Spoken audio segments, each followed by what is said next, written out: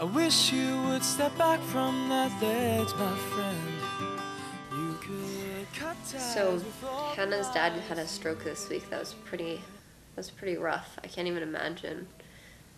Thankfully both my parents are still alive and healthy and, you know, I haven't really had to deal with that much, but I mean, Ethan's dad died when he was younger, so I guess he helped her out a lot, which was really nice. Um, kind of weird for me because I don't know. I mean, it's been so soon since. I mean, we broke up so recently, and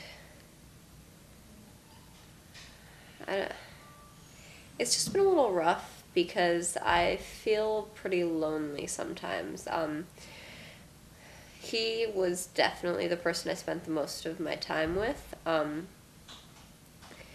and it's just like the littlest things seem that much harder now, you know, just like getting lunch, who to get lunch with, stuff like that. It's it's weird. You know, he was the number one person I confided in and now we barely talk about anything. We're, we only hang out if it's in groups. It's awkward. If you do not want guess to that's all.